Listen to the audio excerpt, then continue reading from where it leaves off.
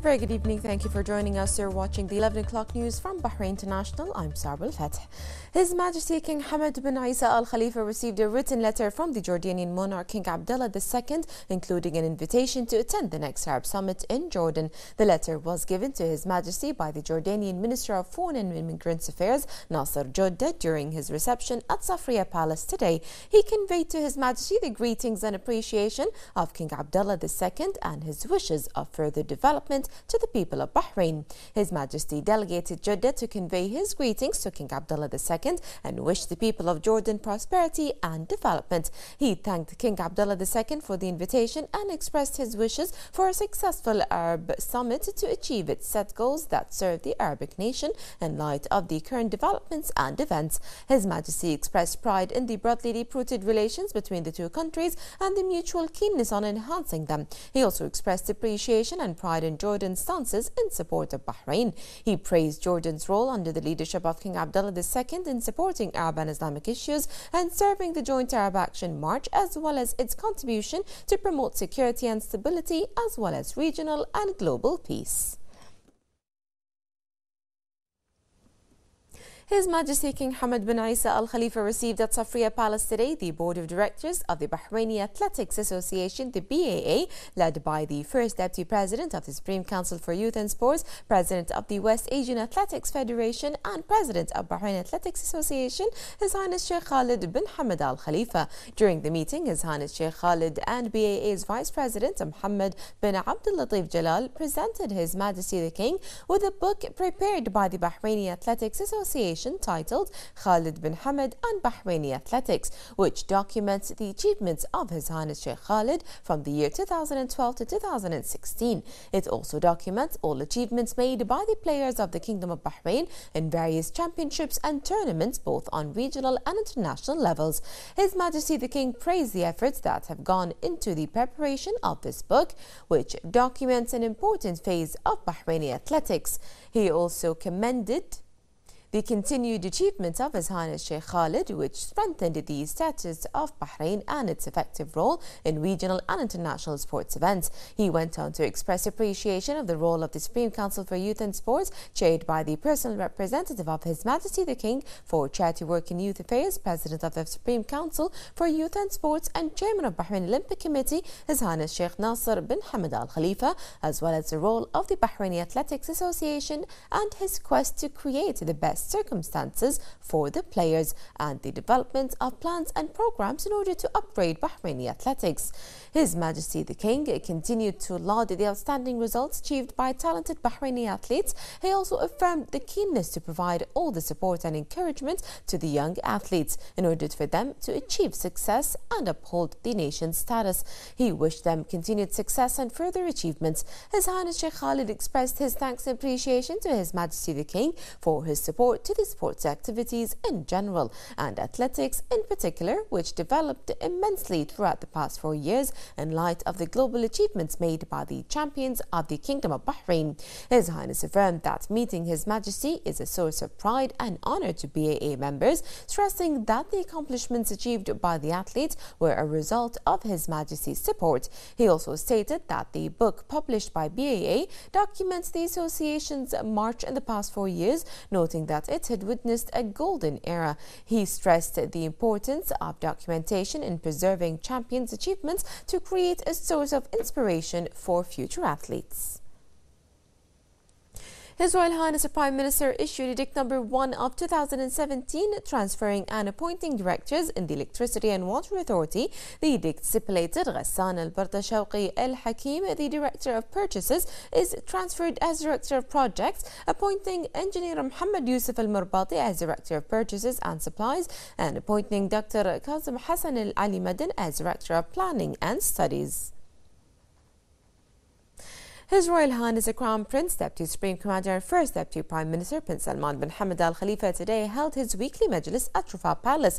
Members of the royal family, senior government officials, members of the Shura Council and council representatives, members of municipal councils, religious and community leaders, journalists and diplomats attended the Majlis. His Royal Highness welcomed the broad range of visitors at the weekly Majlis, which demonstrates Bahrain's commitment to rooted traditions and values that are underpinned by by His Majesty's aspirations to maintain a strong bond amongst Bahrain society. The Majlis visitors extended their appreciation and gratitude to His Royal Highness for hosting the Majlis and emphasized the important role His Royal Highness plays in advancing sustainable development to guarantee prosperity and opportunity for the people of Bahrain.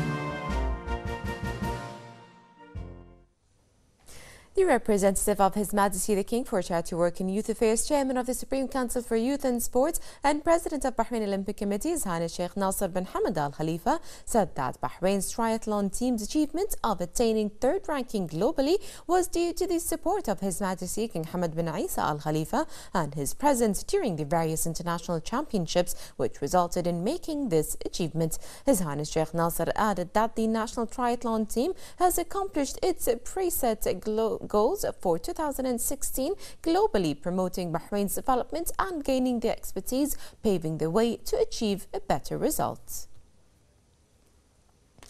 The Housing Ministry achieved a significant amount of accomplishments in the year 2016 under the directives of the WISE leadership to provide Bahrainis with high living standards. More in this report with Muhammad Yusuf.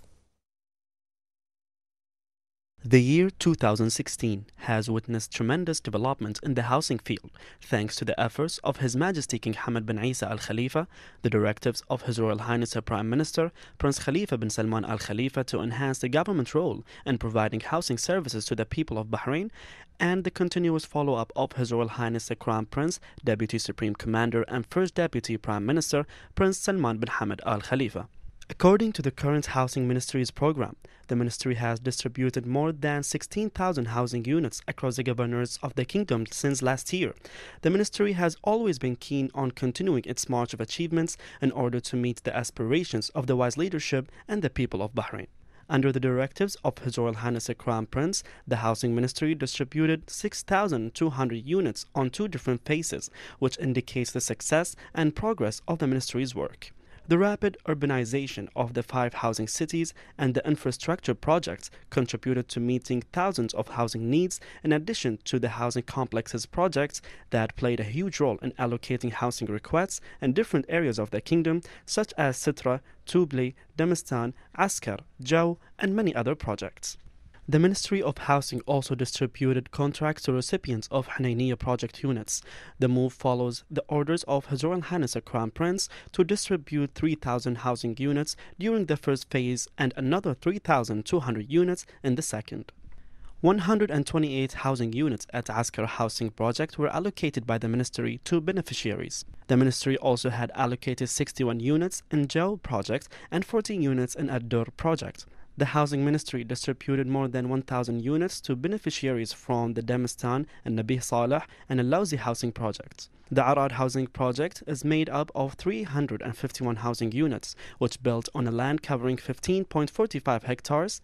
The first phase of the residential project featured 138 housing units, and the second phase included 213 units. The ministry also distributed 1,200 housing units within a Ramli housing project, and another 3,408 units have been built in the northern town.